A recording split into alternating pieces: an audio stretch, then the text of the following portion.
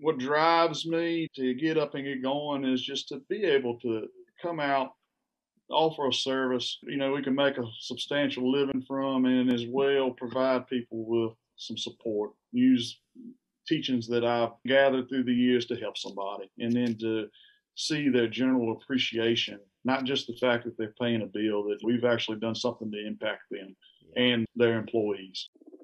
Welcome to EECO Ask Why, a podcast that dives into industrial manufacturing topics and spotlights the heroes that keep America running. I'm your host, Chris Grainger, and on this podcast, we do not cover the latest features and benefits on products that come to market. Instead, we focus on advice and insight from the top minds of industry because people and ideas will be how America remains number one in manufacturing in the world. Welcome to Why. Today we have a hero conversation. I'm very excited to have with me my, my old friend, my buddy from high school and, and college there, and we, we, we, we palled around there for a while, Mr. Ray Tharpe. He's the owner and president at RTM Industrial Maintenance. So welcome, Ray. Hello. How you doing? Oh man, it's good, man. It's late on a Friday. Uh, it's beautiful outside. I just appreciate you taking the time. I know you're a busy guy, man, to sit down with us, buddy.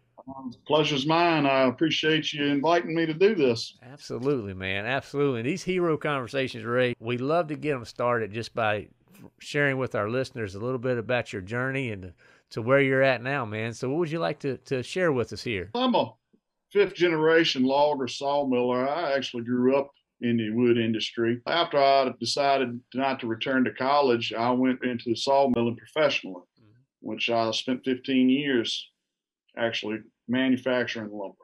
And that's where I learned the trade, how to work on the equipment, and would be my background that led me to where I'm at today. I wanted more, wanted to try to do my own thing. So I took a leap of faith, created RTM, launched that in January of 2016.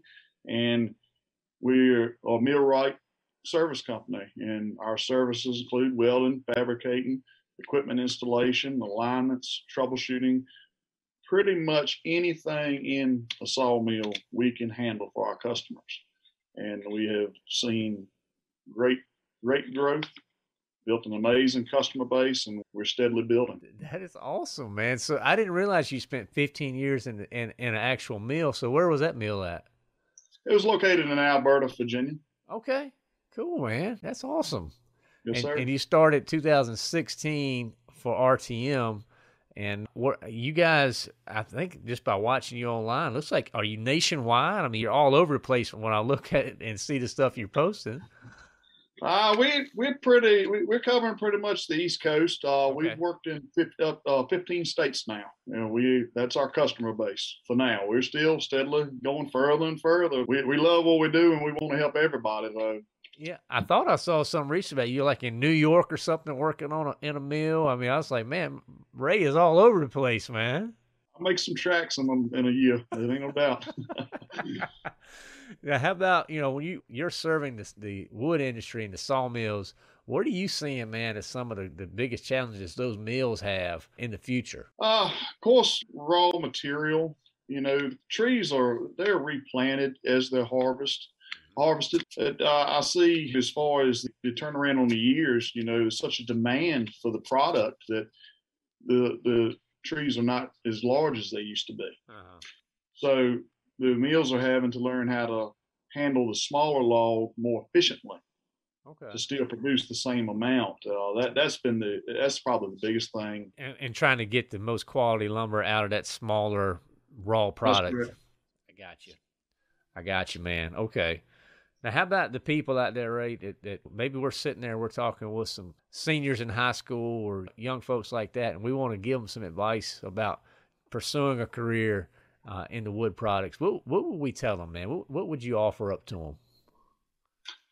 Well, the forestry industry has been very good to me. It's a very rewarding job. It's I wouldn't say it's the easiest. It's climate and weather, and you know that's a big factor. And I mean, it's it's tough work, but if you put the work in, you will reap the reward. Mm-hmm. And uh, and on top of that, it's always it's a demand for the demand for forest products is not going to go anywhere. So it's that's substantial. Yeah, no doubt. demand's doing nothing but going up, man. Exactly. And that's that's a job. There's something to be said about job security. Exactly. For sure. now, what about when you look back, man? You've had a lot of people in your life, and you're helping a lot of people. Any mentors stand out to you from the wood industry that you'd like to share about? I'll tell you, I, have been very fortunate that a lot of the older generation, when I was young and, and coming through the ranks there at the mill, uh-huh. it, eh, you know, I showed that I had a want to learn and to understand, and if people took the time to teach me. Mm-hmm. Uh, individual that's going to stand out the most, my biggest influencer, and what got me started in this will be my dad. Uh-huh. You know, you know, I grew up in it. And as soon as I was big enough to be able to go to the woods when he was logging, or go to the sawmill when he was running the mill, you know, I was right there, just wanting to be in the middle of it. You know, he's a he's a partner with me in RTM. We started this thing together, and we, with addition of my cousin, and if he was a mentor to me growing up. Well, he's part of RTM, and and RTM's got over 100 years of actual manufacturing experience that we bring to the table. It's wow. just with our just our knowledge and know-how. Uh, That's but I could, it's a lot of individuals that I could credit to my knowledge and what I've learned. And you said what you're fifth generation? Yes, sir. Fifth. That's awesome, man. So it's it's in your blood, man. Now, how about you know people who think about the wood industry? They they have these perceptions. Any myths out there about it that you like to just knock out the park? Yeah, I think a lot of people get the misconception of what the logger actually does. You know, get blamed mud in the road or you're stealing a natural resource, that type of thing. And then it, the forestry industry has evolved so much, and I, I kind of refer to it like commercial farming now. They might plant a tract of timber in 18 years, they clear cut it. Hey, we're making your two by fours, your, your decking boards, and then it's replanted, you know, almost within six to eight months, they've replanted it and it's starting to cycle again for the next generation. So uh, that trying to showcase that in a positive manner. We're doing good. Just because we're not doing corn, you know, it doesn't make you evil people. That's right. That's right. I'm with you, man. I'm with you. Now, how about you know the work you're doing? I, I see so much about RTM and stuff you're putting out. What makes you the happiest, man? When, when do you get that sense of joy in the work that you're doing? Uh, success that we come in we supply our customer with the services that they ask for, and they have a general appreciation for what we did. And, and they ask for us. I don't want to do one job. I want the repeat business. Because then yeah, I feel that I have succeeded. And but you've earned that trust too, right? Yes. That's I mean, it.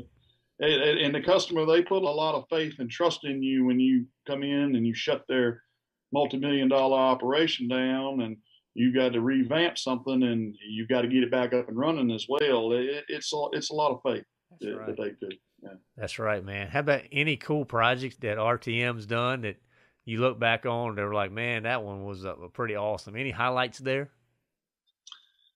Uh, the recent band mill installation that we did this past January, that was a very tough installation due to constraints of the building and the existing footprint of the mill.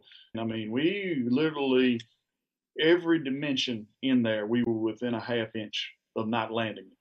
Oh, wow. It, it was that close and that tight. And there was no, absolutely no engineer. It was all done in house. We, from wow. the laying it out to the digging of the pit, steel design, the whole nine yards. It was all done in house. So that was a uh, kind of an iconic one for me, yeah. just because. And then we were showcasing some new services, the crane business that we started, and the, being able to do the excavation work, things like that. That's the one I'm probably most excited about, and that's the one that I had Coval Digital follow us on. Yeah. You so, know, and to showcase who we are and the new services. So, I mean, you mentioned the crane business. So these are new uh, is that like sub businesses that you're starting now too, just because of demand and you're seeing the need for these services are, are increasing? Yeah, we've had we've been very fortunate through 2020 that we've had a lot of growth. The demand for our services has increased, and we are looking for diversification as well. Eventually, evolve into a one-stop shop that we can come in and complete a turnkey project, and that's where we're trying to gear towards. We've still got some growing to do. We're slowly getting there. Man, you're doing you're doing a great job, man. I just can't say enough about what you're doing at RTM and just to see your success and that speaks about your character and the types of people that you're working with, the trust you're providing and, and just the value that you're creating out there in, in the wood industry, man. So good stuff, man. Good stuff. So let's talk a little bit about you outside of work, man. I'm sure there's not much time outside of work for you. so you're laughing. So any hobbies, man? Anything you enjoy doing for fun?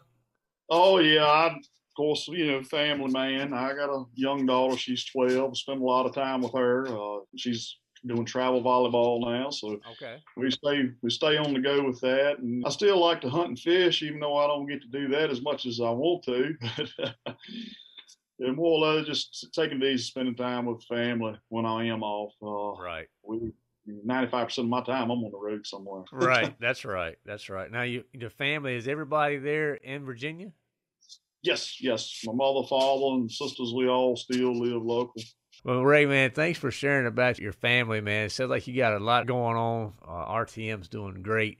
How about things you enjoy? Maybe you're, since you're on the road so much, any what do you listen to? Any podcast or, or do you ever get a chance to, to check out any books around the, the maybe the sawmill industry or anything like that you like to share with our listeners?